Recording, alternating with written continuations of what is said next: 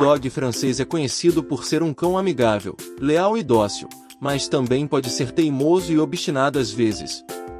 Ele geralmente se dá bem com crianças e outros animais de estimação, mas pode ser reservado com estranhos. É um cão que gosta de ficar perto de seus donos e pode ser bastante protetor com eles. Como qualquer cão, o bulldog francês precisa de exercício regular e atividades mentais para manter sua saúde e bem-estar. Eles também precisam de atenção e cuidados diários, como banhos regulares, escovação dos pelos e cuidados com as unhas. É importante lembrar de seguir as recomendações do veterinário em relação à alimentação e cuidados de saúde do seu cão.